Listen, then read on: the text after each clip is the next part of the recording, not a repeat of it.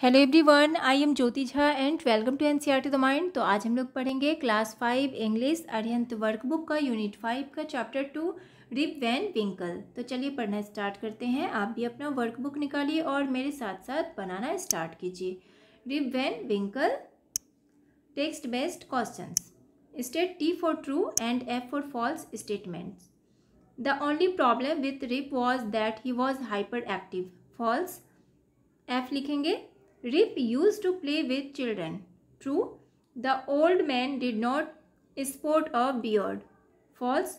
Rip drank the contents of the barrel. True. Rip's farm was well maintained. False. Read the following lines of the story and answer the question that follow तो ये line story से लिया गया है इसे आपको पढ़ना है अच्छे से और क्वेश्चन का आंसर देना है He looked around for Wolf, but he was now here. Rip whistled for him, Wolf, Wolf. He then shouted. No dog was to be seen. अब देखिए इसमें जो है ना क्वेश्चन है कि who is he in the above lines अब ही जो है ऊपर वाले लाइन में वो कौन है तो Rip Van Winkle Wolf was the name of किसका ना, नाम था उल्फ। तो उल्फ जो कौन था? तो उल्फ एक डॉग था ठीक है? एक डॉग का नाम था। Find two verbs from the lines two verbs खोजना है ऊपर वाले लाइन्स से।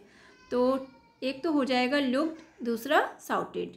Find two pronouns from the lines two pronouns ढूंढना है तो ही और हिम ठीक है? उसके बाद है very short answer type questions where was Rip's village located Rip का विलेज कहाँ पे लोकेटेड था? At the foothills of the Catskill mountains who was Rip's constant companion तो ही हिज डॉग उल्फ ठीक है?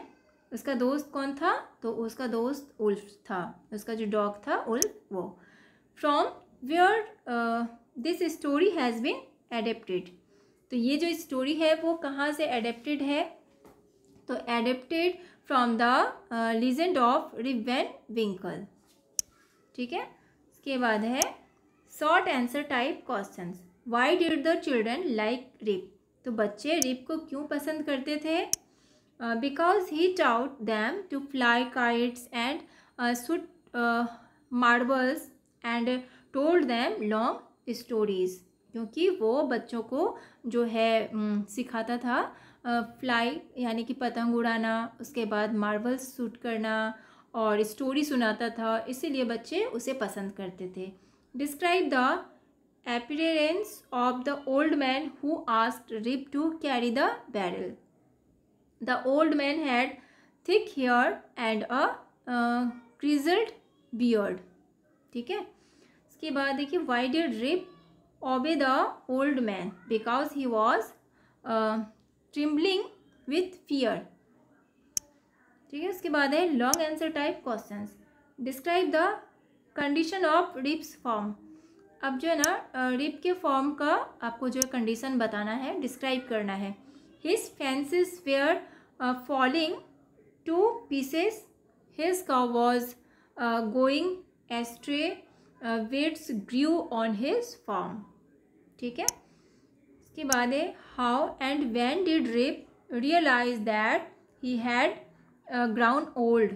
तो when a villager villager said about Rip's long white beard and wrinkled face.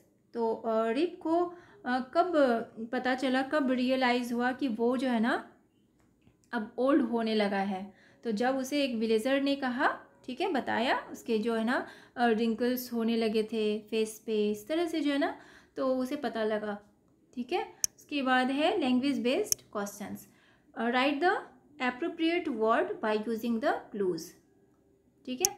अब इसमें आपको क्लूज़ बताया गया है, जैसे कि वाइल्ड अनवांटेड प्लांट्स क्या होता है? वीड्स जो अनवांटेड प्लांट्स जो होते हैं, जो बिना मतलब के ऐसे ही वो निकल आते हैं। यानी कि उसे उगाना नहीं पड़ता है, ना ही उसके लिए सीड्स का यूज़ करना पड़ता है, वो खुद ही निकल आते हैं। इसे कहते हैं वेट्स ठीक है? लाइंस और फोल्ड्स ऑन स्किन तो क्या होता है? जो लाइंस या जो स्किन पे जो लाइंस आ जाते हैं, कुछ फोल्ड्स आ जाते हैं, सिकुड़ जाते हैं स्किन तो उसे क्या कहते हैं? रिंकल्स ठीक है?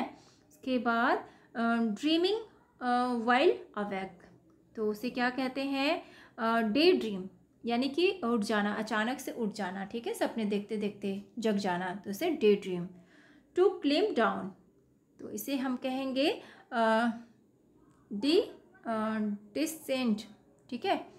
डिसेंट उसके बाद है a wooden container for storing oil etcetera जो एक वुडन कंटेनर होता है, जिसमें कि हम लोग स्टोर करते हैं। ठीक है? तो उसे हम कहते हैं बैरल ठीक है? उसके बाद है listed below are a few words from the chapter that have been jumbled तो यहाँ नीचे जो है ना, कुछ चैप्टर से वर्ड्स लिया गया है जो कि जम्बल्ड है. Find the right word by unscrambling them अब इसमें जो है ना, आपको फाइंड करना है, ठीक है? जो करेक्ट वर्ड है, वो लिखना है. तो देखिए, ये वाला है जम्बल्ड है. तो इसका हम लिखेंगे जो करेक्ट तो क्या होगा? Village V I double L A G E इसका होगा मार्बल्स इसका E C H O E D इकॉइल ठीक है? इसके बाद इसका R U double B E D rubbed ठीक है? तो इस तरह से आपको कंप्लीट करना है इसे। तो आप इसे अच्छे से पढ़िए, याद कीजिए। तो कैसा लगा मेरा पढ़ाना मुझे ज़रूर बताइए। अच्छा लगा हो तो मेरे channel N C R T the mind को लाइक, सब्सक्राइब कीजिए और पास में दिए गए बेल आइकन को ज़रूर प्रेस कर दीजिए ताकि एन सी आर टी से रिलेटेड हर वीडियोज़ आपके पास समय से पहुँचती रहे। तो मिलते हैं नेक्स्ट वीडियो में, तब तक के लिए bye, take care, thanks to watch my video.